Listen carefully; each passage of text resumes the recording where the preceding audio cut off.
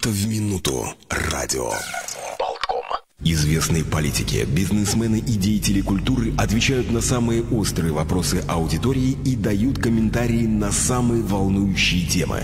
Здравствуйте, я Абикелкин, и я приглашаю вас на ток-шоу «Прямая речь». Слушайте по четвергам с 17 до 18 часов. Добрый день еще раз, уважаемые радиослушатели. Продолжаем работать в прямом эфире. И сейчас у нас на прямой связи посредством Зума руководитель и владелец СИА Экобазы Мариус Кубелюс. Мариус, добрый день. Добрый день. Да, вот буквально на днях в Латвии с Авизой не только мы прочли э, вот э, вашу статью или свое такое вот, э, может быть, предупреждение даже Э, такой крик о помощи, о той ситуации, которая может сложиться вокруг э, магазинов, э, и это и торговые центры большие, и не только, что там могут образоваться свалки мусора. Вот из-за решения Министерства среды и регионального развития применить регулу Европейского Союза, объясните, что все-таки происходит и почему вот до сих пор все-таки такой проблемы не было, и сейчас она вдруг возникла. Um, ну, вся, вся история началась э, с этого, что э, в прошлом году, если я хорошо помню, э, в месяце марта Министерство окружающей среды высылало письма для всех э, юридических компаний, маленьких магазинов, в том числе и больших магазинов, торговых центрах, других промышленных компаний – и смысл этого, э, этих писем было то, что там было написано, что э, вторсырье, в том числе э, упаковка, как, как бумага, как значит, полиэтилен и да. металл и другие значит, вторичные материалы, в том числе упаковка, может быть отдана только для тех компаний, которая имеет э, контракт э, э, с местными муниципалитетами, это да. самоуправлениями. Да. А поскольку, значит, ситуация такая, что такие контракты имеются только с теми компаниями, которые вывозят бытовые отходы из территории самоуправления, так что получается ситуация, что э, такие э, вторичные отходы может быть отданы только для тех компаний. Это сразу ограничает как бы рынок, конкуренцию, и значит остается только один или там две или три компании, которые может... Ну, к примеру, как в Риге, да. Так, вот как в Риге, в Риге может три компании только это принимать, значит, это очень ограничает рынок. А эти компании вообще способны справиться вот э, с таким объемом, потому что им действительно надо вывозить эти бытовые отходы, то есть те отходы, которые вот э, в этих контейнерах, так, чтобы людям было понятно, возле жилых домов, индивидуальных домов и многоквартирных? Знаете, это очень хороший вопрос. Э, способны, способны ли они сейчас? Я думаю, что нет, потому что объемы э, этой, значит, этих вторичных материалов, э, они очень большие, и рынок был, это был же свободный рынок, и таких компаний, как наша компания, есть не одна. И, значит, в этом бизнесе как бы, участвует очень много техники, большие контейнера, пресс-контейнера, машины, значит, э, сортировочные линии, э, значит, пресса и так далее. И чтобы в один день э, эти компании были бы готовы сразу обслуживать все эти клиенты, которые сейчас обслуживаются нами, я думаю, это ну, невозможно. Это надо нужен как бы и нужны большие финансические средства и время для подготовки. Но на сегодняшний день я очень-очень сомневаюсь, что вот, они готовы. Да, вот вы мне объясните, я все-таки не понимаю логики.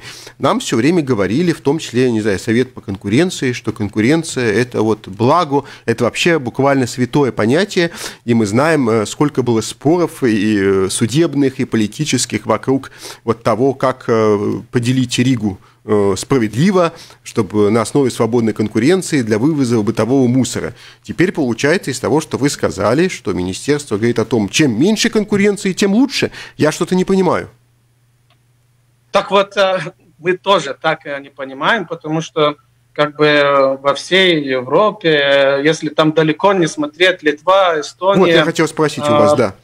Польша, э, ну, нету такой страны, где, э, значит, у э, изготовителя отходов в этом, значит, вот сейчас мы, речь идет о вторичных отходах, нету такого запрещения, что, значит, ему запрещается продавать эти вторичные материалы на свободном рынке. Конечно, Э, закупать такие материалы может только те компании, которые имеют э, все разрешения, там, категории да. Э, и так далее. Но это как бы свободный рынок, где существует как бы правила конкуренции, и, значит, за втор сырье, в том, в том числе и упаковки, платятся деньги, и, конечно, большие деньги. Почему это стало сейчас так актуально, это хороший вопрос, но э, это все отражается с мировыми, мировыми тенденциями. И сейчас объясню почему. А потому что, значит, э, с э, связи с пандемией начало падать сбор вторичных материалов, и, значит, в мире сейчас не хватает сырья, и как бы цены за, за вторичные материалы пошли, ну, бы стали очень значительно разами значит, дороже. Угу. Как бы я понимаю, для больших игроков, как бы для тех компаний, которые имеют, э, возможно, э, которые имеют э, эти контракты с самоуправлениями, это стало очень интересно, почему бы не забрать и этот кусок как бы рынка. Бизнеса, рынка. Угу. Так что э, почему Министерство охраны э, окружающей среды поддерживает э, э, возможную монополию, которая вот случится в случае того, что если так и пройдет этот, этот закон. Это только ну, подозревание каких-то связей коррупционных. Нет больше, больше других объяснений ну, я не могу найти. Да, ну мы это, к этому еще вернемся, но так чуть-чуть, если отмотаем, что называется, пленку назад, вот чуть-чуть поясните нашим радиослушателям, не все, естественно, из них юристы и понимают э, вот э, как последовательность. Вот есть компания, ну, к примеру, не знаю, ваша Экобаза, да? Наверное, вы да. ведь не сами пришли, я сейчас утрирую, э, к магази- в магазинную сеть или э, вот э, к торговым сетям и сказать, слушайте, здесь у вас мусор валяется, давайте мы подберем. Понятно, что, видимо, это был, есть контракт, то есть есть договор обязывающий. Вы, наверное, вложили какие-то, естественно, средства в получение всех лицензий, э, в том, чтобы это все транспортировать, не знаю, утилизировать, перерабатывать. То есть это же, я так понимаю, длительный длительный процесс, это же не за один день делается. Конечно, конечно. Так, э, так и происходит э, на сегодняшний день. Э, как бы те отходы, которые не похожи и не являются бытовым отходом, значит, все юридические лица, они как бы могли заключать контракты свободно на рынке с компаниями, такими, например, как Экобаза Латвия, те, которые имеют все разрешения, все которые, разрешения, выданные как бы той же самой структуре Министерства окружающей среды, и как бы э, там в, этом, в этих контрактах мы договаривались с торговыми центрами, магазинами, юри, другими юридическими лицами или э, заводами, э, что мы будем э, их обслуживать, э, поставим контейнера, пресс-контейнера, значит, и будем их обслуживать, за, э, за, э, собирать э, постоянно эти вторичные материалы, как, как бумага, как полиэтилен и, и так далее, и будем им платить, значит, за, за это деньги. А, на сегодняшний день по, как бы по позиции Министерства окружающей среды такие контракты может быть даже не может существовать, потому что э, компания, как Экобазия Латвия, не имеет договора о вывозе отходов из региона, из территории самоуправления. Э, вот тогда так, э, чуть-чуть поясните, может быть, с одной стороны это кажется простой вопрос, но с, но с другой стороны, может быть, нет. Все-таки, ну вот бытовые отходы, как мы понимаем, ведь они могут быть разные, в конце концов, и у жителей могут быть э, в качестве бытовых отходов, там, не знаю, бумага, в которой продукты заворачивались, или даже если они купили большую партию какой-нибудь ящик от бананов, это ведь не только в магазине, или все-таки в магазине это более специфические отходы, чуть-чуть поясните. Нет, это вообще э, те же самые э, вторичные материалы, только, э, понимаете, на сегодняшний день, э, если мы говорим о жителях, да, да. так э, они э, должны как бы сортировать отходы. Э, и те отходы, которые бытовые отходы, они выбрасывают на контейнера бытовых отходов, а те э, вторичные материалы, как э, бумага, как э, полиэтилен, стекло, там, металл и так далее, они может либо выбросить на контейнерную сортировочную систему, которую как бы должна э, самоуправление с, э, с э, как бы оператором предоставить, либо он имеет э, право эти вторичные отходы продавать тем компаниям, которые э, их скупает. Например, они может нам привести на нашу компанию, и как бы мы их скупим. И это, э, это право Конституции человека как бы выбрать, куда, как он э, э, должен, как он может обращаться с отходами, которые имеют положительную стоимость. Если он хочет выбросить бесплатно, отсортированные отходы, mm. он выбрасывает на контейнерную систему. Если да. он хочет продавать, он может продавать. А, и, и сегодня, что хочет а, сделать а, Министерство окружающей среды, они, а, она хочет лишить права человека или другого или юридического лица продать свой вторсырье тем компаниям, которые имеют а, все право, права и, как бы разрешение это делать. Но это, это же решение... ограничение рынка, мягко да? говоря. Это да. Угу. Это... так, чтобы буквально на пальцах, э, так, чтобы всем было понятно, значит, э, не знаю, там, торговая сеть, ну, не знаю, там, Риме, к примеру, да, оно решило, что она продает свои вот отходы, не знаю, вашей компании или там компании X, вашему конкуренту. Теперь министерство да. говорит о том, что нельзя – то есть э, на свободном да? рынке, в свободной стране нельзя. Нельзя. И, и значит, э, так и есть. Э, значит, нельзя продавать, а надо отдавать той компании, которая как бы имеет право вывозить бытовые отходы. И вы понимаете, проблема в том, что еще они должны отдавать это бесплатно. Потому что, э, значит, э, операторы, которые выиграли тендер э, на вывоз отходов, бытовых отходов в территории самоуправления, они, значит, вывозят бытовые отходы за, значит, в тендере указанной, указанной цены за, за вывоз, а вторичные материалы они забирают бесплатно.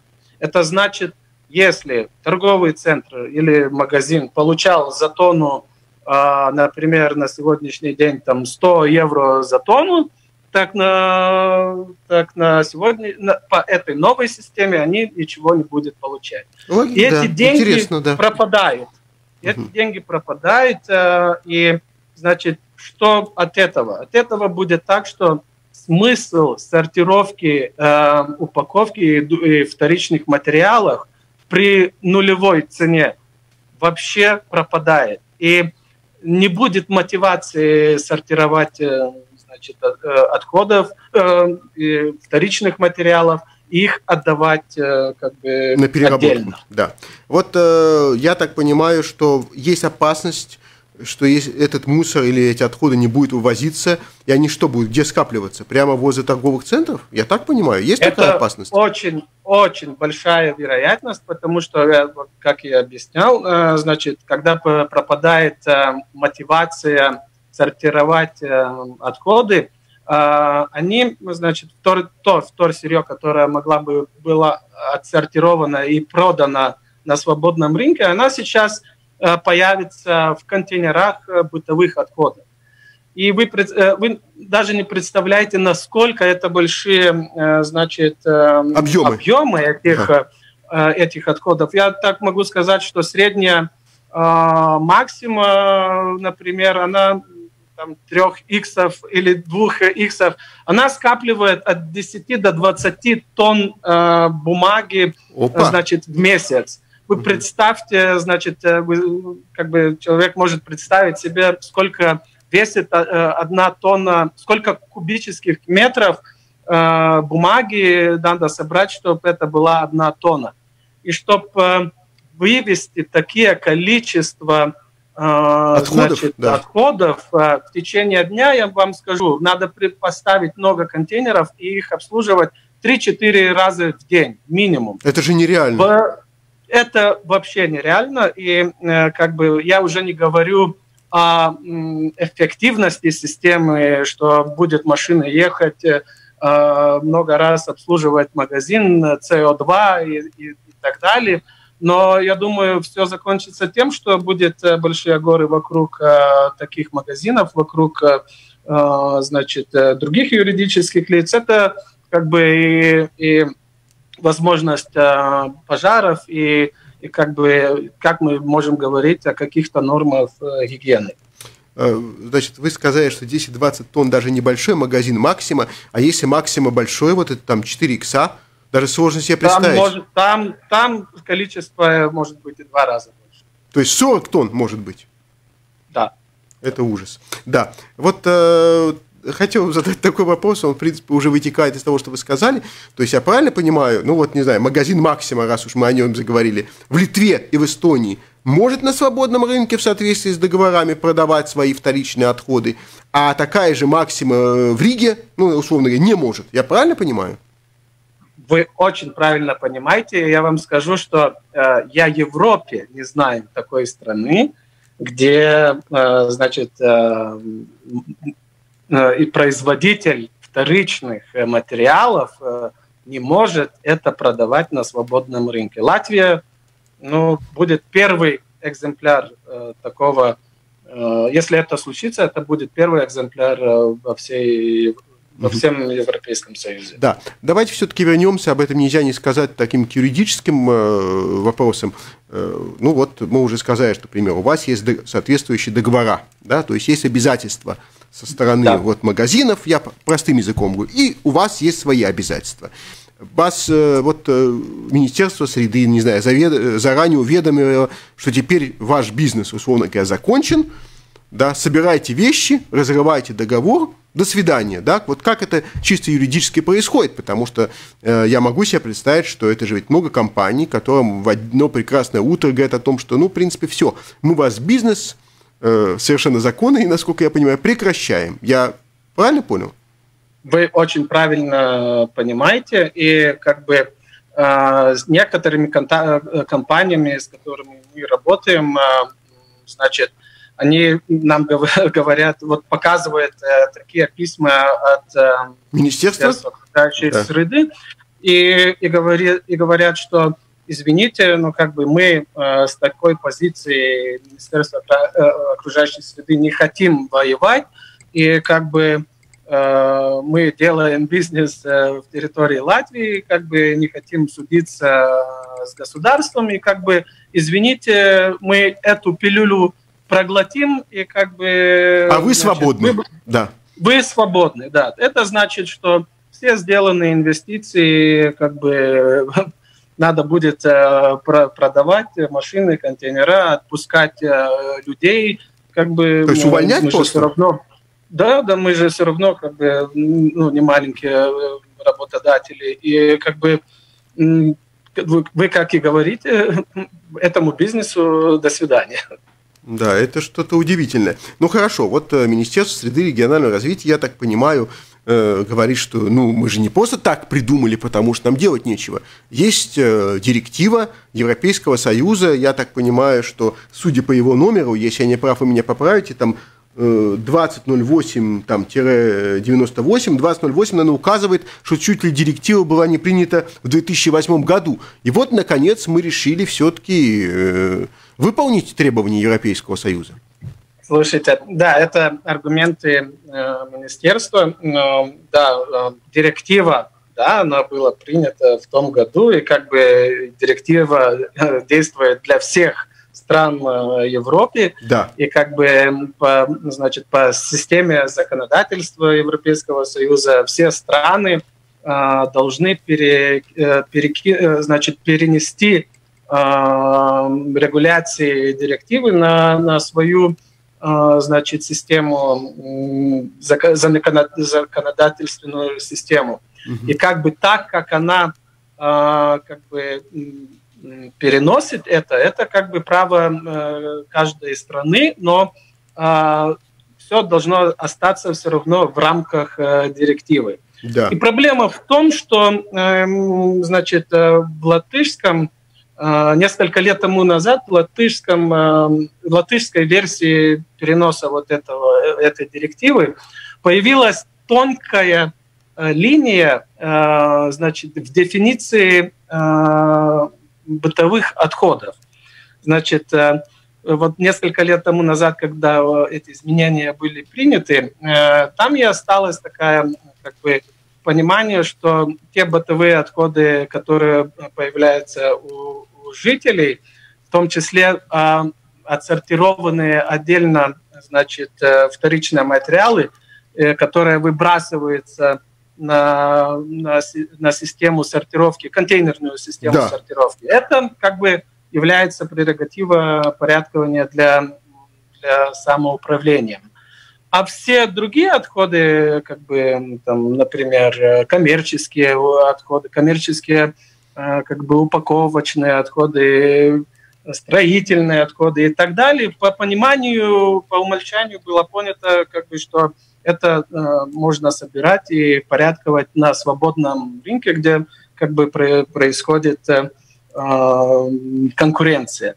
Uh-huh. То как бы э, как бы то, что случилось в прошлом году с, понима... Э, с значит, трактированием э, министерства, они сказали, что вот как бы упаковка и вторсырье от торговых центров маленьких и, и других юридических лиц – она, они являются по, по трактировке э, бытовыми отходами.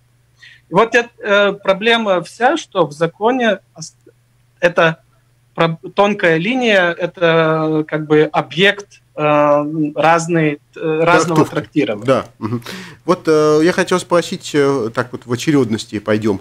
Э, что касается самоуправлений, известна ли вам реакция самоуправления, охотны ли они готовы выполнить это, ну, не знаю, там, не знаю, Рижская дума, э, Венспилское самоуправление, там, Юрмальское, что они говорят? Что им все равно, пускай теперь собирают тогда вот те компании, которые выиграли у них тендер на вывоз э, бытовых отходов? Или все-таки они понимают, что это не совсем правильно? Я понимаю, да, это не совсем правильно, и как бы я как бы либо лоббинг э, очень хорошо действует, э, э, либо самоуправление чуть не понимает, на какой риск, на какие проблемы с этими решениями они как бы может Э, люди и, и, вся как бы окружающая среда самоуправления может попасть на очень большой риск, о которых мы уже говорили, как бы. И я, я думаю, что они просто не понимают, какой риск э, и последствия э, может быть, если вот такое трактирование закона и останется. Э, Все-таки э, вы как предприниматели, у вас есть, ну вот сейчас я попытаюсь перевести с латышского на русский, есть такой термин «тесиска палевиба», ну что-то, не знаю, правовая определенность или правовая предсказуемость. Да, вот э, теперь получается, что вы, когда строили, вы или там э, ваши коллеги по бизнесу, конкуренты строили бизнес. Понятно, что многие брали кредиты на покупку машин, там, прессов. Ну, то есть, это же большие расходы, это сотни тысяч. Конечно. Э, теперь вам говорят, что, ну, условно говоря, бизнес с вас, ну, завтра условно закончится. Э, всем спасибо, до свидания. А кто будет, у вас же есть обязательства, к примеру, перед кредиторами, Я, вы уже про работников э, сказали, налоги и так далее, и так далее. Что остается теперь? Судиться? Что вообще говорит Министерство среды и регионального развития? Э, есть ли диалог э, с вами? Готовы ли они к каким-то компромиссам, каким-то, не знаю, обсуждению разных вариантов?